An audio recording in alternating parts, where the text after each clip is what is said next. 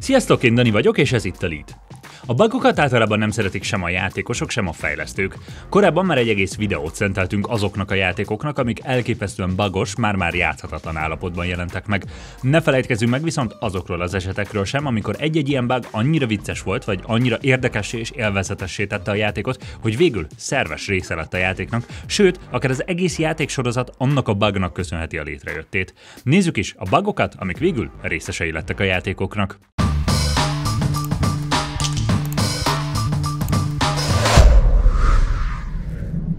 A Halo 1-ben volt egy fura bug, ami igazából nem érintette olyan nagyon a játékmenetet, ezért is maradhatott benn. Egyszerűen nem volt nagy szükség a kijavítására. Tehát, ha fogtad a pisztolyodat és lennésztél a földre, a karaktermodell feje hirtelen előre nézett, mintha normál pozícióban tartaná a fejét. És igen, mondom, a játékmenetet igazából nem befolyásolta túlzottan, viszont mégis hatalmas segítség volt egy bizonyos körnek, a masinima készítőknek. Bizony, a Red Blue gyakorlatilag nem jöhetett volna létre nélkül a feature nélkül. És amikor a Bungie a játék második részén dolgozott, ki is akarta javítani a glitchet, viszont rájöttek, hogy milyen sok játékos kifejezetten használja is ezt a bugot, ráadásul egy teljesen ártalmatlan szórakoztató célra. Úgyhogy bár magát a bugot kijavították, egy teljesen külön lehetőségként belerakták. Emiatt lehetséges a Halo második része óta egy külön gomb lenyomásával leengedni a fegyvert, hogy a machinima animációk továbbra is készülhessenek. Randall a Vandal a Destiny játékok egyik legrégebb óta futó easter egg és ez egész egy bug miatt legyőzhetetlen ellenféltől indult. A Vandalok a játék egyik ellenséges fajának, az Elixnének a tagjai. Egyáltalán nem számítanak nehéznek, általában közepes nehézségű ellenfélnek számítanak a halomra lőhető dregek és sankok fölött. Épp ezért volt különös még a játék alfájában Randall. A régi Oroszország helyén található Kozmodróm az egyik kezdőhely volt a játékban, ahol az új Guardianek felébredtek, és az alfában is ez volt az első zóna, amit a játékosok megkaptak, hogy felfedezzenek. A Forgotten Shore régióban szinte az összes újonc játékos belefutott egy River Vandal nevű ellenfélbe, aki már akkor 8-as szintű volt, amikor a bétában is még csak olyan inkább 4-es szintűek voltak a játékosok. És bizony ez a Vandal elképesztően sok HP-val rendelkezett, és senki sem tudta megölni. A játékosok biztosak voltak benne, hogy ő szándékosan akadályként van idetéve, hogy kicsit lassítsa a játékosokat, és el is nevezték Randall a Vandalnak.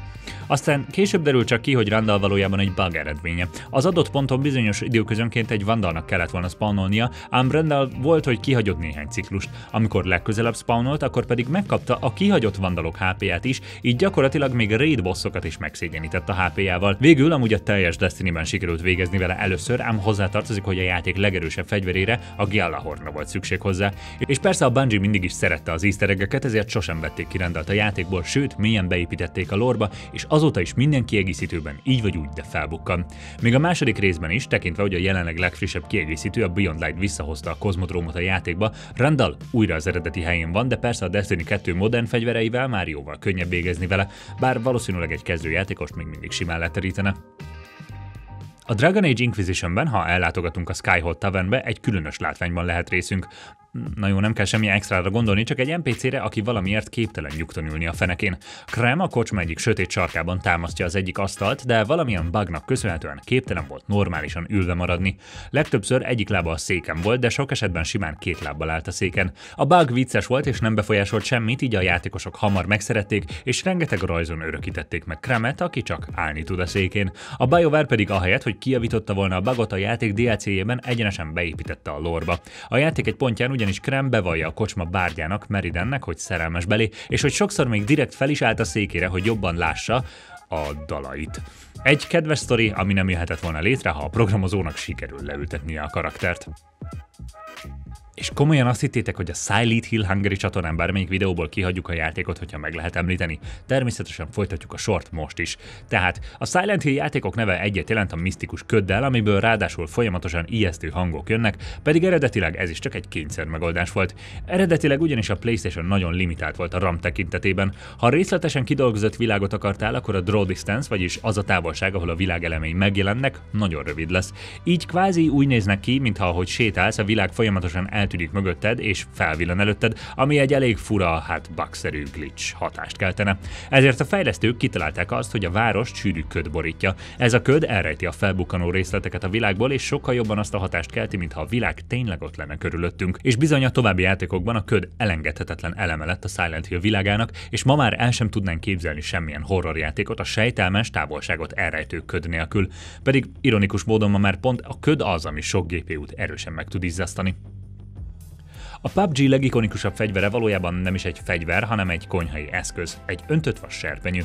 És nem véletlenül ez lett a legfontosabb kiegészítő. A serpenyő ugyanis teljesen golyóálló és rengetegszer megmentheti az életedet. Érdekes módon ez is eredetileg egy bugként, vagy legalábbis egy nem tervezett mellékhatásként jött létre, ami végül szerves részévé vált a játéknak.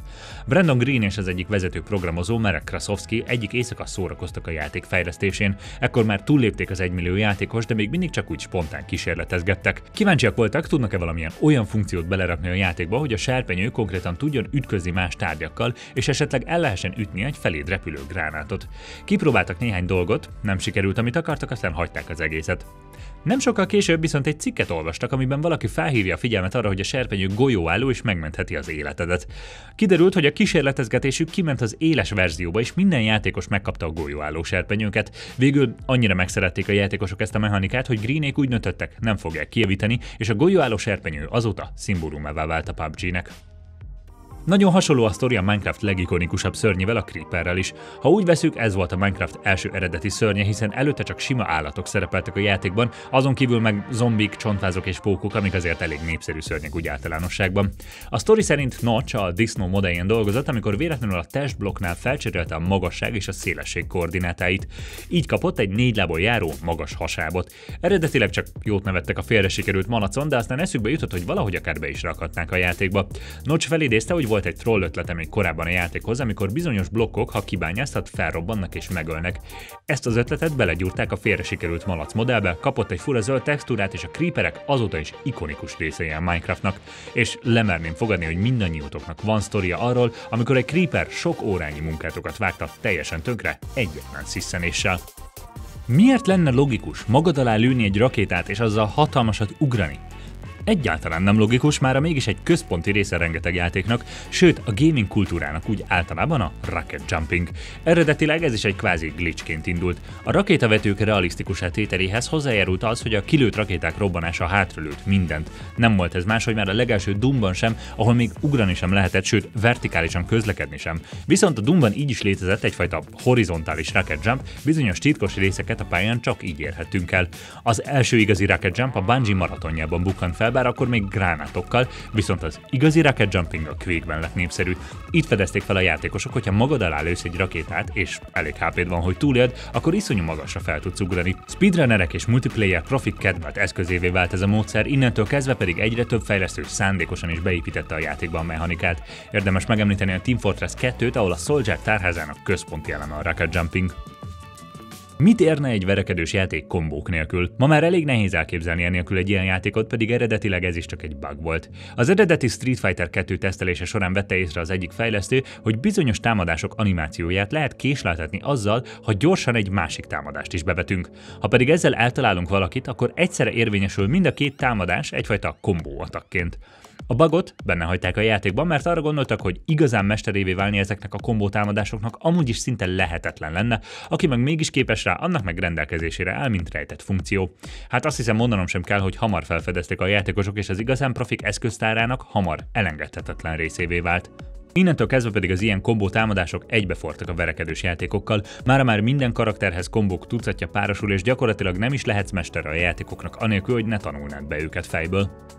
A Team Fortress még 1996-ban egy egyszerű Quake modként indult. Néhány ausztrál tini találta ki, hogy egy olyan játékot lehetne csinálni a Quake-ből, ahol multiplayerben különböző kasztokat lehet választani, amik különböző fegyverekkel és képességekkel rendelkeznek.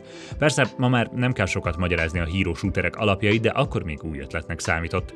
Igen ám, de volt a játékban egy megmagyarázhatatlan bug, ami nagyon vicces helyzeteket szült. A csapatokat ugyebár a fejük fölött lévő név színe különböztette meg egymástól, ám időnként egy glitchnek köszönhetően rossz szín bukkant fel a játékos feje fölött.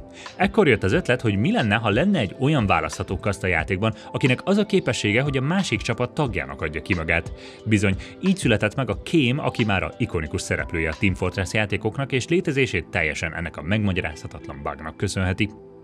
1995-ben egy bizonyos DMA Design nevű játékfejlesztő cég elkezdett dolgozni egy különös játékon, a Race and Chase-en. A játék gyakorlatilag egy felülnézetes versenyzős játék lett volna, ahol küldetéseket is lehetett teljesíteni, akár rendőrként, akár bűnözőként, és néha rendőrök elő kellett menekülni. A játék nem volt izgalmas. Azon kívül, hogy szimplán nem volt érdekes a játékmenet, az élményt még folyamatos bugok is rontották. A fejlesztők egyfolytában próbálták mindenféle javításokkal betömni a hiányosságokat, ami folyamatosan új bugokat szült, egészen addig, míg nem az egyik bug egy váratlan új feature-t rakott a játékba. Az egyik ilyen frissítés során ugyanis a rendőrök hirtelen elképesztően agresszív módra kapcsoltak, megállíthatatlanul ültözték a játékost, és amikor elfogták, akkor sem csak megállítani akarták, mint ahogy ezt a fejlesztők eredetileg tervezték, hanem konkrétan beleszáguldottak az autónkba, nem nyugodva addig, míg fel nem robbantanak. A bug benne maradt a tesztverzióban, és a játékot kipróbálók elképesztően pozitívan nyilatkoztak róla, és a legszórakoztatóbb elemnek nevezték. A fejlesztők hamar rájöttek, hogy valamire teljesen véletlenül ráéreztek. Nem kell itt versenyzéseket csinálni, kötelező küldetéseket, unalmas, igazoltató rendőröket. El kell túlozni mindent, és sokkal nagyobb fókusz kéne a bűnözésre, hogy a rendőrüldözések minél gyakoribbak legyenek.